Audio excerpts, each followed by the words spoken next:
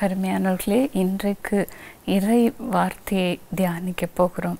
ஆண்டோடத்திலிருந்து நேரடியாக நாம் வெளிப்பாடுகளை பெற்றுக்கொள்ள ஜெபத்தோடு கட்டுரை வசனத்தை கேட்போமா?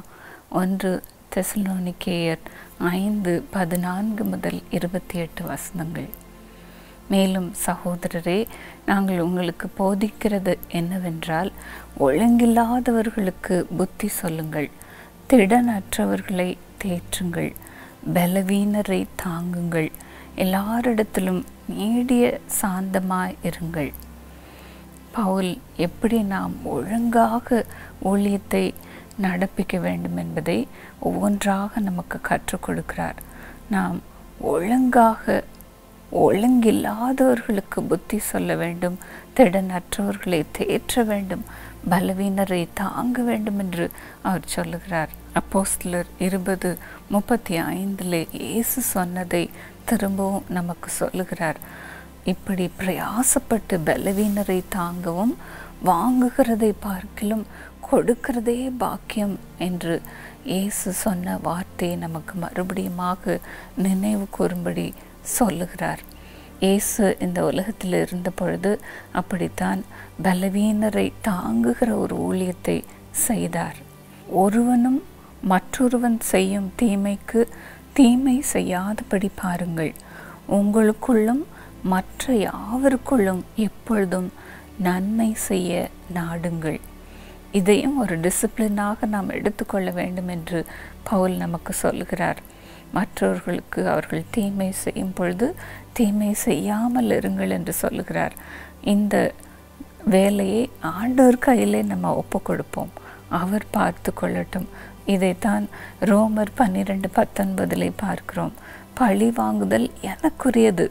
நானே பதில் செய்வேன் என்று கத்தச் சொல்கிறார் ஆண்டோர் கையிலே தீமை செய்கிறவர்களை ஒப்புக்கொடுங்கள் அவர் பார்த்து கொள்ளட்டும். இயேசுவும் நம்முடைய சத்துருக்களை எப்படி நடத்த வேண்டும் என்று மத்திய ஐந்து நாற்பத்தி நான்கிலே சொல்லுகிறார் பாருங்கள். உங்கள் சத்துருக்களை சிநேகியுங்கள். உங்களை சபிக்கிறவர்களை ஆசிர்வதியுங்கள். உங்களை பகைக்கிறவர்களுக்கு நன்மை செய்யுங்கள். உங்களை நிந்திக்கிறவர்களுக்காகவும் உங்களை துன்பப்படுத்துகிறவர்களுக்காகவும் ஜபம் பண்ணுங்கள். இயேசு ஒரு படி மேலாகவே நமக்கு கற்றுக் கொடுக்கிறார். தீமை செய்கிறவர்களுக்கு தீமை செய்யாதிருங்கள். அவர்களுக்காக ஜெபம் பண்ணுங்கள். அவர்களை ஆசிர்வதிங்கள் என்று நமக்கு கற்றுக் கொடுக்கிறார். அடுத்த டிசிப்ளின் பவுல் சொல்லுகிறார் பாருங்கள். எப்பொழுதும் சந்தோஷமாயிருங்கள். கர்த்துடைய பிள்ளைகளுக்கு இந்த சந்தோஷம் மிகவும் அவசியமானது. ஸ்வீட்டி ஓலியம் செய்யும் பொழுதெல்லாம் சிரித்து கொண்டே பாட்டு பாடுவாள். சிரித்து கொண்டே பேசுவாள். அவளுடைய சிரிப்பையே ஜனங்களுக்கு ஆசிர்வாதமாக கத்தர் அவள் மூலமாக கொடுத்திருக்கிறார். இப்படித்தான் நாமும் சந்தோஷமாக இருக்க வேண்டும் என்று பவுல் சொல்லுகிறார். தாவி இது பாருங்கள் கத்துடைய வசனத்தை எப்படி தியானிக்கிறான் என்று சங்கீதம் நூற்றி நான்கு முப்பத்தி நான்கிலே அவர் சொல்கிறார் நான் அவரை தியானிக்கும் தியானம் இனிதாக இருக்கும் நான் கத்தருக்குள் மகிழ்வேன் என்று சொல்கிறார் இப்படித்தான் நம் கத்தருக்குள் சந்தோஷமாக இருக்க வேண்டும் என்று பவுல் சொல்லுகிறார். அடுத்த டிசிப்ளின் பவுல் சொல்லுகிறார். இடைவிடாமல் ஜபம் பண்ணுங்கள் என்று. எனக்கு திருமணமான புதிதிலே எங்கள் வீட்டிலே ஒவ்வொரு காரியத்திற்கும் ஜபம் ஜபம் என்று எப்பொழுதும் ஜெபித்து கொண்டே இருப்பார்கள். காலையில் எழும்பினவுடன் தனி ஜபம் அதன் பிறகு குடும்ப ஜபம் சாப்பிடுவதற்கு முன்பதாக ஜபம். அதன் பிறகு குடும்பமாக வெளியே போகும் பொழுது அப்பொழுதும் ஜபம். வீட்டிற்கு வரும் பொழுதும் ஜபம். இரவு குடும்ப ஜபம். தனி ஜபம் என்று ஜெபித்து கொண்டே இருப்பார்கள். அது எனக்கு ஆரம்பத்திலே கடினமாக தான் இருந்தது. எப்பொழுதும் எப்படி ஜெபித்து கொண்டிருக்க முடியும் என்று நானே ஆச்சரியப்பட்டிருக்கிறேன். அந் இந்த ஜபத்தினால்தான் இன்றைக்கு நான் உங்கள் முன்பதாக ஊழியக்காரியாக உட்கார்ந்திருக்கிறேன். இடைவிடாமல் ஜெபிக்கிறது கர்த்துடைய பிள்ளைகளுக்கு மிகவும் அவசியமாக இருக்கிறது. இந்த ஜெபமே நம்மை பலப்படுத்துகிறதாக இருக்கிறது. தமிழில் ஒரு பழமொழி சொல்லுவார்கள் மூளை சாதிக்காததை முழங்கால் சாதிக்கும் என்று. நாம் உபவாசம் இருந்து ஜெபிக்கும் பொழுது அந்த ஜெபம் கட்டாயமாக கேட்கப்படுகிறது. ஆகையினால் தான் பவுல் சொல்கிறார் இடைவிடாமல் ஜெபம் பண்ணுங்கள் என்று. அடுத்த டிசிப்ளின் பவுல் சொல்கிறார் பாருங்கள் எல்லாவற்றிலையும் ஸ்தோத்திரம் செய்யுங்கள். அப்படி செய்வதே கிறிஸ்து இயேசுவுக்குள் உங்களை குறித்து தேவனுடைய சித்தமாக இருக்கிறது. தாவீது சங்கீதம் முப்பத்தி நான்கு ஒன்றிலே சொல்லுகிறார் பாருங்கள் கத்தரை நான் எக்காலத்திலும் ஸ்தோத்திரிப்பேன். அவர் துதி எப்போதும் என் வாயில் இருக்கும் என்று. நாம் எல்லாவற்றிற்காகவும் கத்தரை ஸ்தோத்திரம் பண்ணுவோம். தாவீது சொல்லுகிறான் கத்தர் எனக்காக யாவையும் செய்து முடிப்பார் என்று. யோபு சொல்லுகிறார் தேவரீர் சகலத்தையும் நீர் செய்ய வல்லவர். நீர் செய்ய நினைத்தது தடைபடாது என்று சொல்லுகிறார். அப்படியே நாமும் சொல்லிக்கொண்டே இருப்போம். ஆண்டவரே உமால் எல்லாவற்றையும் செய்ய முடியும். ஆண்டவரே உமக்கு ஸ்தோத்திரம். கஷ்டத்தின் மத்தியிலே வியாதியின் மத்தியிலே பிரச்சனையின் மத்தியிலே ஸ்தோத்திரம் ஸ்தோத்திரம் என்று கத்துடைய வசனத்தை சொல்லி சொல்லி ஆண்டவருக்கு ஸ்தோத்திரம் சொல்லுவோம்.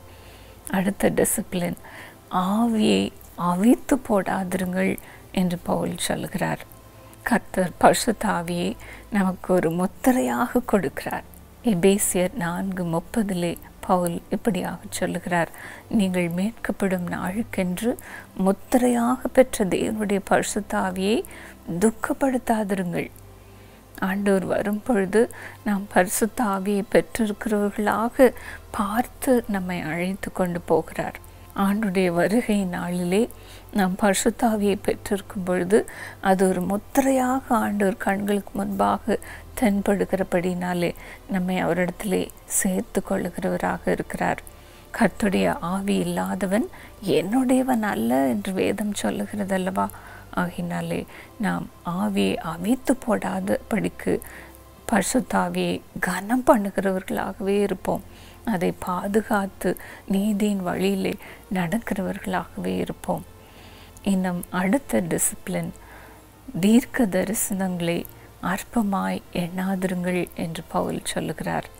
தீர்க்க தரிசன வரம் என்பதுதான் மிகவும் முக்கியமான ஒரு வரமாக இருக்கிறது. ஒன்று குழந்தையர் பதினான்கு ஒன்று அதைத்தான் சொல்லுகிறது. ஞான வரங்களை விரும்புங்கள் விசேஷமாக தீர்க்க தரிசன வரத்தை விரும்புங்கள் என்று பவுல் சொல்லுகிறார்.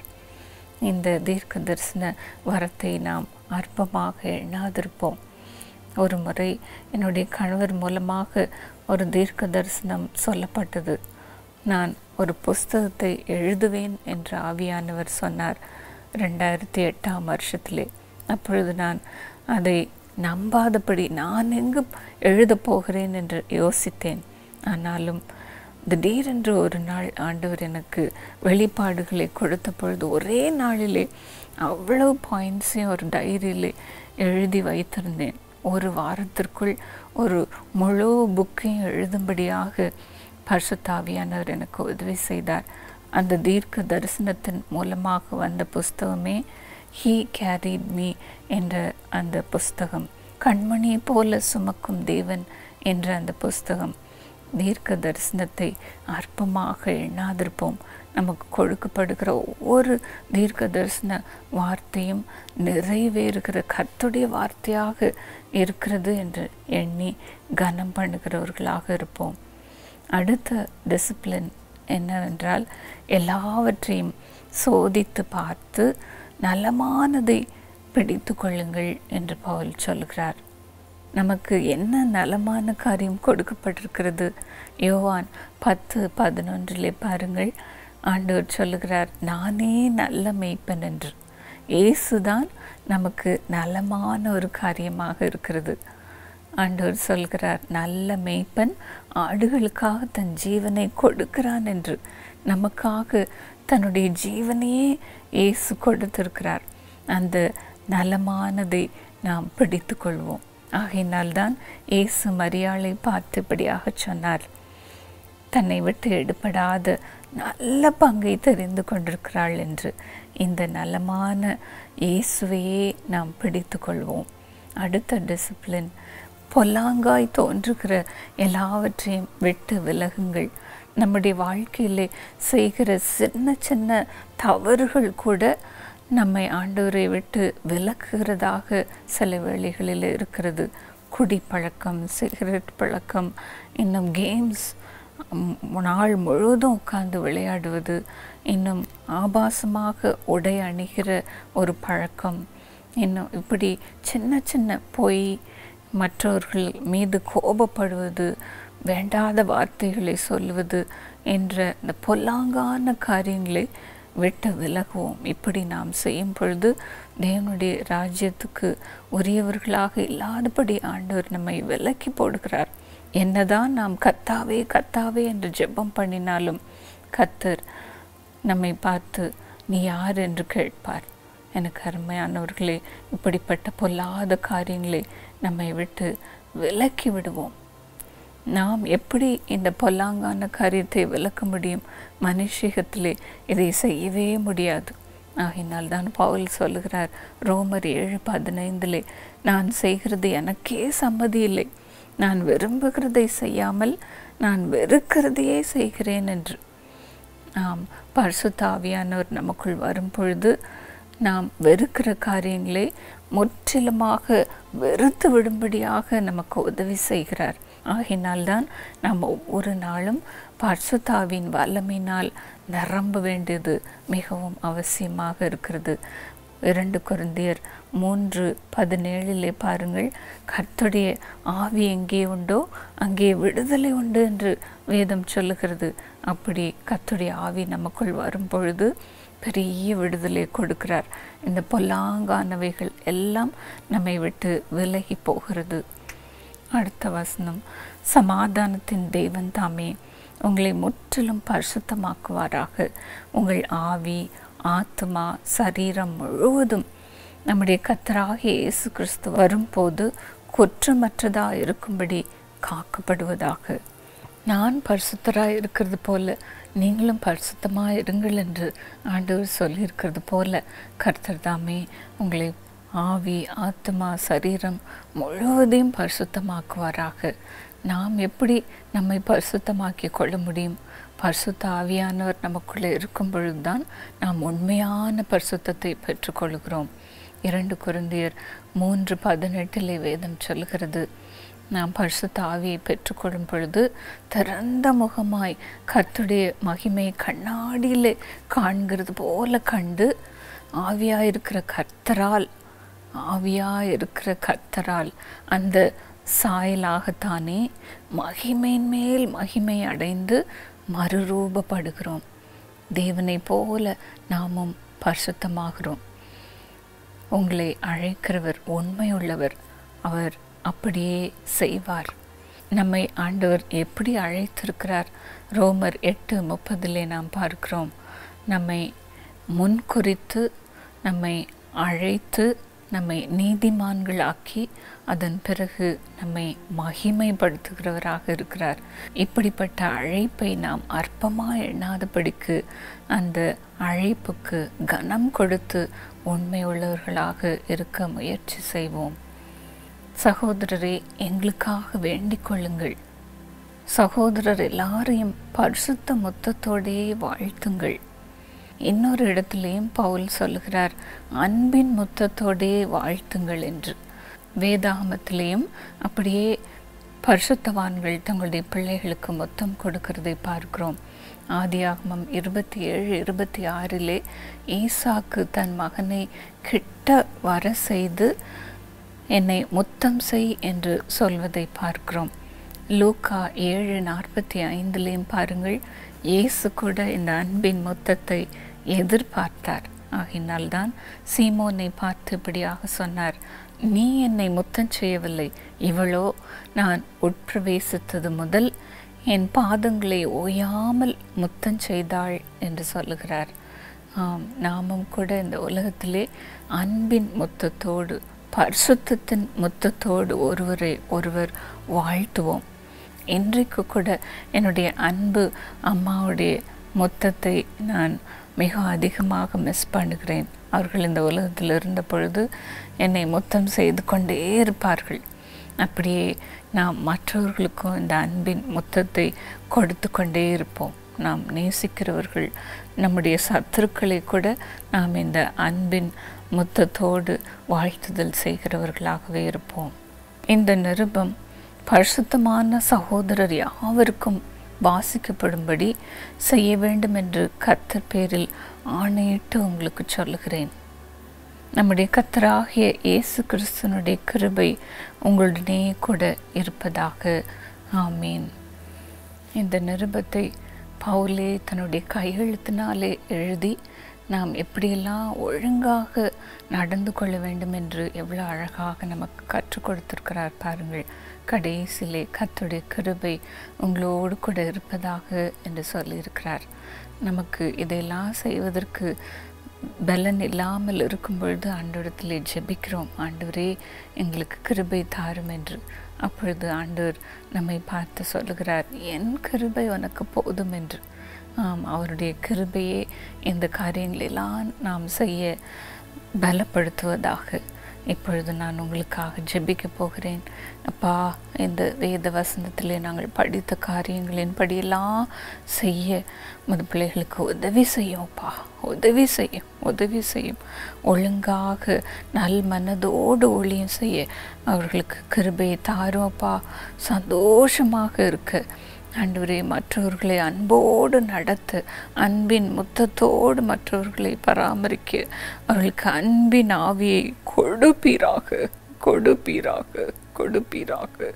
உண்மை போல இருக்க பரிசுத்தமாக இருக்க. அன்றுவரே பொல்லாங்கானவைகளை எல்லாம் விட்டு விலகி பரிசுத்தமான வாழ்க்கை வாழ நீதி செய்கிறவர்களாக இருக்க. பரிசுத்த ஆவியானவரே அவர்களை இப்பொழுது நிரப்பி ஆண்டவரே ஒழுங்கான வாழ்க்கையை நடத்த அவர்களுக்கு உதவி செய்யோப்பா உதவி செய்யும். தீமைக்கு தீமை செய்யாதபடி அவர்களுக்கு உதவி செய்யோப்பா ஆண்டவரே சத்துருக்களை நேசிக்கிற ஒரு இருதயத்தை அவர்களுக்கு தருவீராக்கு தருவீராக. ஆண்டவரே இந்த டிசிப்ளின் எல்லாம் இருக்க வேண்டும் என்று பவுல் எங்களுக்கு எழுதி வைத்து போயிருக்கிறாரே.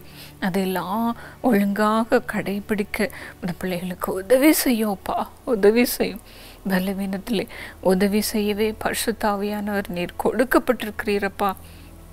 ஆண்டவரே சொந்த முயற்சினால் இதை செய்யவே முடியாதப்பா.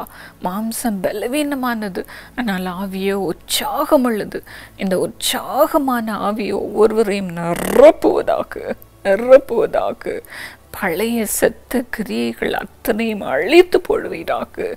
ஆண்டவரே அவர்களை நீரே ஒழுங்கான வாழ்க்கை வாழ பலப்படுத்துவீராக பலப்படுத்துவீராக. கத்துடைய பிள்ளைகளாக இருக்க மற்றவர்கள் கண்களுக்கு முன்பதாக உம்முடைய அன்பின் பிள்ளைகளாக இருக்க அவர்களை நீரே கரம் பிடித்து நடத்துவீராக. இந்த நாளின் தேவ வசனங்கள் எல்லாவர்கள் மீது வைத்து ஜெபிக்கிறேன். அப்படிப்பட்ட பரிசுத்தமான வாழ்க்கையை ஒவ்வொருவருக்கும் நீ தருகிறபடியால் நமக்கு நன்றி. இயேசுவின் நாமத்தில் பிதாவே. ஆமேன். ஆண்டவர் தாமே அப்படியே உங்களை நல் வழியிலே நடத்துவாராக. காட் பிளஸ் யூ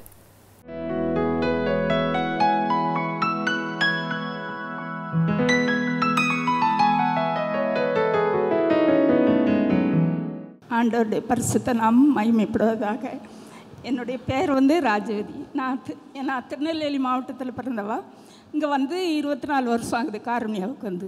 எனக்கு வயசு அறுபத்தி நாலு ஆகுது. நான் வந்து நாலு வருஷத்துக்கு முன்னால் வேலையை விட்டுட்டேன்.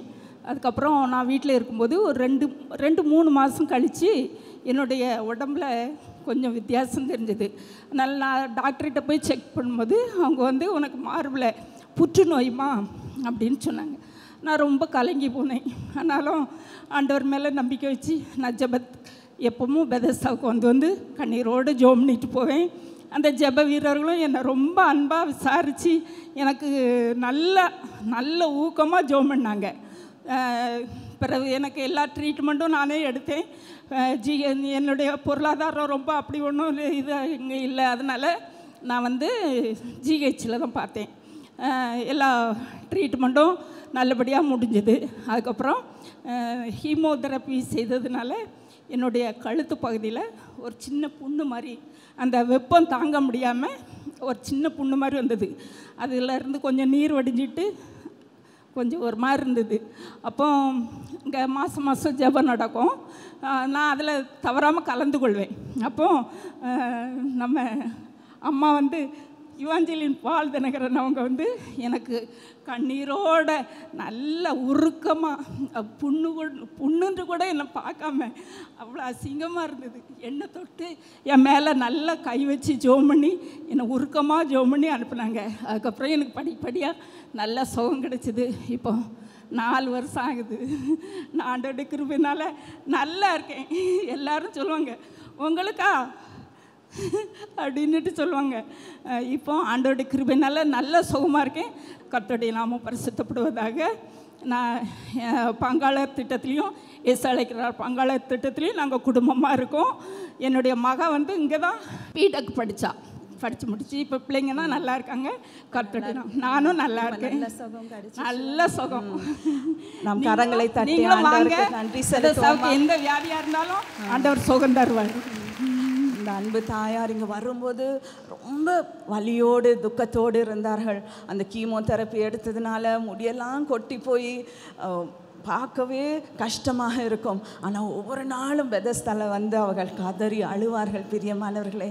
ஆண்டவர் இந்த இடத்துல உண்மையாகவே அவர் உலாவி கொண்டிருக்கிறார். அவங்க இடத்துல ட்ரீட்மெண்ட் எடுக்க காசு இல்லாமல் இருந்தது உதவி செய்ய யாரும் இல்லாமல் இருந்தார்கள். ஆனால் ஆண்டவர் அற்புதமாக இன்று எவ்வளோ சந்தோஷமாக அவர்கள் இருக்கிறார்கள் பார்த்தீர்களா? நாம் இன்னொரு தடவை நல்ல கரங்களை தட்டி ஆண்டவருக்கு நன்றி செலுத்துவோமா? கர்த்தருக்கு ஸ்தோத்திரம். என்னோட பேர் செல்வி. நான் வந்து பெதஸ்டாவில் ஆண்டுடைய ஊழியத்தை பதினோரு வருஷமாக நான் செய்து கொண்டு இருக்கிறேன் எனக்கு பார்த்தீங்கன்னா என்னோட சரீரத்தில் ஒரு பலகினம் உண்டு. இந்த சைடு காதில் அது எனக்கு சீல் வடியும். நான் வந்து இந்த ஊழியத்துக்கு வர்றதுக்கு முன்னாடி ரொம்ப கஷ்டப்பட்டிருக்கேன் அதனால். இந்த சைடு இந்த படுக்கும் பொழுது இந்த தலையினை ஃபுல்லாக நனைஞ்சிரும். அந்த ஃபுல்லாக அந்த தண்ணி வடிஞ்சு ரொம்ப நனைஞ்சிரும். அப்போ நான் இந்த ஊழியத்துக்கு வரும்பொழுது ஆண்டரே நான் இந்த சீல் வடிகிறதோட எனக்கு அருவருப்பாக இருக்கு ஏசப்பா. நிறைய பேர் உங்களுடைய ஊழியத்துக்காக வருவாங்க. அவங்களுக்கு நான் ஜெபிக்கணும். அவங்க பக்கத்தில் நான் நிற்கணுமே ஏசப்பா. இது எனக்கு அருவருப்பாக இருக்குது அப்படின்ட்டு நான் நிறைய நேரம் அன்றைய சமூகத்தில் நான் ஜெபித்தேன் அந்த டோமில் வச்சு நான் நிறைய நாள் அன்றைய சமூகத்தில் நான் ஜெபித்தேன் அதே போல் எனக்கு டெலிஃபோன் டியூட்டி எனக்கு போட்டிருந்தாங்க. கரெக்டாக அந்த ரிசீவரை நான் இந்த காதில் வச்சு ஒரு மாதமாக நான் ஜெபித்தேன் அந்த ஒரு மாதத்தில் அந்த சீல் வடிகிறது கம்ப்ளீட்டாக நின்றுட்டு அது அப்படியே காய்ந்து போயிட்டு. இந்த பதினோரு வருஷம் ஆகுது. இது வரைக்கும் ஒரு துளி ஒரு சொட்டு கூட அந்த இடத்துல. அதுக்கப்புறம் அந்த சீல் வடிஞ்ச நாளே கிடையாது. கர்த்தர் என்னுடைய வாழ்க்கையில் எத்தனையோ நன்மைகளை ஆண்டர் செய்திருக்கிறார். ஆவிக்குரிய நன்மையும் உலக பிரகாரமாக நன்மைன்னு ஆண்டர் எத்தனையோ ஆண்டர் வந்து செய்திருக்கார். அதே போல் என்னுடைய மகன் இஎம்எஸ் ஸ்கூலில் படித்தான் நான் காருண்யா யூனிவர்சிட்டியில் படிக்க வைக்கணும்னு ரொம்ப ஆசைப்பட்டேன். அப்போ என்னுடைய கணவருக்கு சின்ன சம்பளம் தான் அதனால எல்லோரும் சொல்லுவாங்க உன்னால் படிக்க வைக்க முடியாது அப்படிம்பாங்க. ஆனால் நான் ஆண்டுகிட்ட ஜெபிச்சேன் இசப்பா எப்படியாவது என் பிள்ளை இந்த இடத்துல படிக்கணுன்ட்டு பாலண்ணகிட்ட நான் போய் சொல்லி ஜெபிச்சிருக்கேன். ஆனால் என் பிள்ளை இந்த இடத்துல படிக்கணும்னு. ஆண்டர் கிருபையாக இந்த இடத்துல அவனை பிடெக் கம்ப்யூட்டர் சயின்ஸ் இன்ஜினியர் படிக்க கிருபை செஞ்சாங்க. டெக்கத்லான் ஸ்போர்ட்ஸில் ஆண்டவர் நல்ல ஒரு ஜாபை ஆண்டவர் தந்தாங்க. அதே போல் என்னுடைய மகளுக்கும் படி படிச்சுட்டு இருக்கும் பொழுது அந்த ஃபைனல் இயரில் அவளுக்கு வந்து வேலையே கிடைக்கல. எத்தனையோ கேம்பஸ் பத்துக்குன்னா அவள் வந்து அட்டன் பண்ண கேம்பஸில் வந்து. அதுக்கப்புறம் சொன்னால் அம்மா இனி கேம்பஸில் இனி வேறு எந்த கம்பெனியும் வராது. அப்படின்ட்டு சொல்லி ரொம்ப சோர்ந்து அழுது என்கிட்ட சொன்னான் அதே வாரத்தில் இவெஞ்சலின் அக்கா வந்து ஏஞ்சல் கார்டனில் தேர்ஸ்டே ப்ரேயர் மீட்டிங் நடத்துனாங்க. அப்போ அவளை அக்கா கிட்ட கூட்டிகிட்டு போய் நான் ஜெபித்தேன் ஆண்டர் கண்டிப்பாக ஒரு அற்புதத்தை செய்வார்னே. ஆண்டருடைய பெரிய கிருபை அக்கா ஜெபிச்சு கரெக்ட் கரெக்டாக ஒரே வாரம் தான் இருக்கும். ஆஃப் கேம்பஸில் அவள் இன்ஃபோசிஸில் சிஸ்டம் இன்ஜினியராக நல்ல ஒரு சேலரியில் ஆண்டர் அவளை செலக்ட் பண்ண கிருபை செய்தார். இது இப்படி சொல்லணும்னா அநேக அற்புதங்க ஆண்டு என்னுடைய வாழ்க்கையிலே செய்திருக்கிறார். ஏசளிக்கிறார் ஊழியத்தில் நான் இருக்கிறது நிமித்தம் ஆண்டு வந்து என்னை வந்து வாழாக்கம் ஆண்டு ஆண்டர் என்னை எப்பவும் தலையாக தான் வச்சுருக்கார். எந்த குறையும் என்னுடைய வாழ்க்கையிலே ஆண்டவர் நன்மை எல்லாவற்றையும் ஆண்டர் நன்மையாக்கி கொடுத்தாரு. அதே போல் நான் ஒரு சொந்த வீட்டுக்காக ரொம்ப நாள் ஜெபிச்சேன். அதுக்கப்புறம் அண்ணா கிட்ட போய் கூட நான் ஜெபிச்சிருக்கேன். அண்ணா எனக்கு ஒரு சொந்த வீட்டுக்காக நீங்கள் ஜெபிங்க நீ. அப்போ அண்ணா ஒரு நாள் ஜெபிக்கும் பொழுது சொன்னாங்க அஞ்சு அப்போ ரெண்டு மீன் தான் கையில் இருக்க ஆண்டவரே. நீங்கள் அதை ஆசீர்வாதமாக்கி கொடுங்க இந்த பிள்ளைங்களுக்கு அப்படின்ட்டு சொல்லி ஜோம் பண்ணாங்க. நான் எப்போவுமே ஆண்டுகிட்ட எனக்கு ரெண்டு செண்டு நிலம் போதும் ஏசப்பா. இந்த ரெண்டு செண்டையில் எனக்கு வீடு தாங்கன்னு ஆண்டுகிட்ட நான் கேட்ட நாட்கள் உண்டு.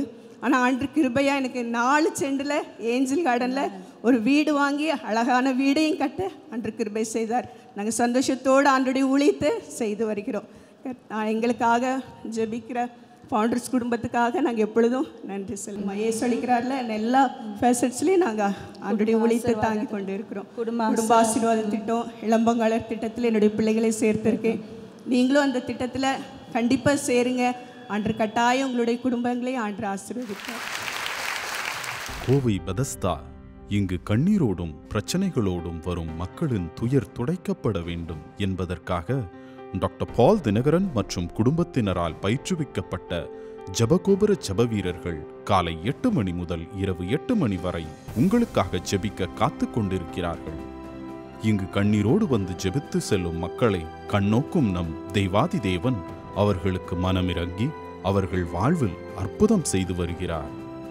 அது மட்டுமல்ல இங்கு வரும் மக்கள் சுகம் பெறவும் விடுதலை அடைந்து அவர்கள் ஆசிர்வதிக்கப்படவும் அவர்கள் வாழ்விலும் குடும்பத்திலும் நல்லதொரு மாற்றம் ஏற்பட்டு செழிக்கவும் அவர்கள் தங்கியிருந்து ஜெபிக்க தங்கும் விடுதிகளும் தனியாக ஜெபிக்க தியான அறை ஆலோசனை மையம் தரிசன மையம் மற்றும் இங்கு வருபவர்களுக்காக பெதஸ்தா ஜப மண்டபத்தில் சிறப்பு ஜபக்கூடுகைகளும் வெவ்வேறு மொழிகளில் நடத்தப்பட்டு வருகின்றது. அதோடு இங்கு பெதஸ்தா குளம் இயேசுவின் பாடுகளை சித்தரிக்கும் ஏழு காட்சிகளும் உண்டு. நீங்களும் இந்த பெதஸ்தா ஜப மையத்தை பயன்படுத்திக் கொள்ள தவறாதீர். அற்புதங்கள் உங்களுக்காகவும் காத்திருக்கிறது. எங்கள் முகவரி பெதஸ்தா ஜப மையம் காருண்யா நகர் கோவை ஆறு நான்கு ஒன்று ஒன்று ஒன்று நான்கு. காருண்ய நிகர்நிலை பல்கலைக்கழகம். உங்கள் எதிர்காலத்தை மாற்றியமைக்க எங்களுடன் சேருங்கள். பொறியியல் வேளாண்மை உயிரியல் குற்றவியல் மேலாண்மை ஊடக வடிவமைப்பு தரவு அறிவியல் தடய அறிவியல் வர்த்தகம் நானோ அறிவியல் மற்றும் ஆப்டோமெட்ரி ஆகியவற்றில் பட்டப்படிப்புகளை வழங்கும் ஒரு கிறிஸ்துவ சிறுபான்மை பல்கலைக்கழகம். இரண்டாயிரத்தி இருபத்தி ஒன்று இருபத்தி இரண்டாம் ஆண்டிற்கான மாணவ சேர்க்கை நடைபெற்றுக் கொண்டிருக்கிறது. மேலும் விவரங்களுக்கு ஒன்று எட்டு பூஜ்ஜியம் பூஜ்ஜியம் நான்கு இரண்டு ஐந்து நான்கு மூன்று பூஜ்ஜியம் பூஜ்ஜியம் என்ற எண்ணை அழைக்கவும். கொரோனா இரண்டாம் மலை இந்தியா முழுவதும் பரவி பல்வேறு தரப்பட்ட ஜனங்களை தீவிரமாக பாதித்து வருகிறது. சுகாதார பணியாளர்கள் சிகிச்சை அளிக்க போராடி வருகிறார்கள். மருத்துவமனையில் படுக்கைகளும் நிரம்பியுள்ளன. பலரின் உதவியற்ற அழுகை ஒவ்வொரு இதயத்தையும் உருக்குகிறது. சீஷாவின் நிறுவனர் டாக்டர் பால் தினகரன் அவர்கள் இந்த பெருந்தொற்றால் பாதிக்கப்பட்ட நோயாளிகள் பயன்பெறும் வகையில் மாதம்பாளையத்தில் உள்ள காருண்யா வளாகத்தை சிகிச்சைக்காக இலவசமாக வழங்கியுள்ளார். அது மட்டுமின்றி தொலைதூர பகுதிகளில் வசிக்கும் ஏழை எளிய மக்களுக்கு நோய் எதிர்ப்பை அதிகரிக்கும் மருந்துகளையும் பாதுகாப்பு முக கவசங்களையும் விலையில்லாமல் வழங்க ஷீஷா சுகாதார பராமரிப்பு குழுவை அவர் ஊக்குவித்து வருகிறார். சீஷா மூலமாக சிறுமைப்பட்டவர்கள் அடிமட்டத்தில் இருப்பவர்கள் எல்லாருக்கும் முடிந்த வரைக்கும் அவர்கள் வாழ்வதற்கு வழியை உண்டு பண்ணி கொண்டிருக்கிறோம். இந்த பொருட்கள் எல்லாம் இந்த விட்டமின்ஸ் எல்லாம் ஜனங்களுக்கு ஜீவனை இன்னும் தரணும். இதனைத் தொடர்ந்து கடலூரிலும் சிறுவாணி மலைப்பகுதியை சுற்றியுள்ள பழங்குடி கிராமங்களிலும் சீஷா மருத்துவக் குழு இலவசமாக நோய் எதிர்ப்பை அதிகரிக்கும் மருந்துகளையும் முகக்கவசங்களையும் விநியோகித்து வருகிறது. சீஷா மருத்துவமனையும் கொரோனா தடுப்பூசி செலுத்தும் இயக்கிகளில் அரசாங்கத்திற்கு தொடர்ந்து உதவி வருகிறது. சீஷாவின் நடமாடும் மருத்துவமனை மூலம் காய்ச்சல் பரிசோதனை கொரோனா தடுப்பூசி இலவச மருந்துகள் இலவச கபசுர குடிநீர் மற்றும் இலவச மோர் வழங்கப்படுகிறது. சீஷா சுகாதார பணியாளர்கள் மற்றும் தன்னார்வ தொண்டர்கள் தங்கள் சொந்த நலன்களையும் பெரிதுபடுத்தாமல் களப்பணியில் துணிந்து இறங்கி மக்களுக்கு உதவி வருகிறார்கள். இலவச மருந்துகள் மற்றும் பாதுகாப்பு முக கவசங்களை வழங்கி உதவ எங்களுக்கு ஆதரவளியுங்கள். உங்கள் தன்னலமற்ற நன்கொடைகள் பல உயிர்களை காப்பாற்றும். மேலும் விவரங்களுக்கு எங்களை ஒன்பது மூன்று பூஜ்ஜியம் பூஜ்ஜியம் ஆறு பூஜ்ஜியம் பூஜ்ஜியம் ஆறு பூஜ்ஜியம் பூஜ்ஜியம் என்ற எண்ணில் தொடர்பு கொள்ளலாம்.